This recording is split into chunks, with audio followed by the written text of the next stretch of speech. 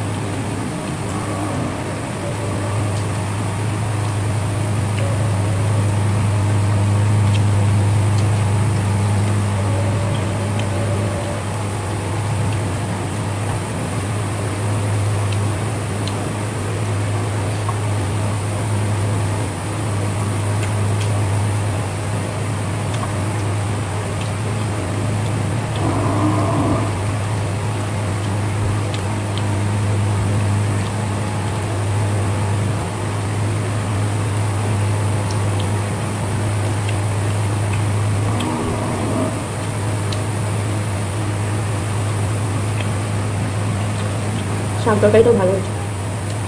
আর শাকটা দিয়ে খেয়ে নিচ্ছি ওই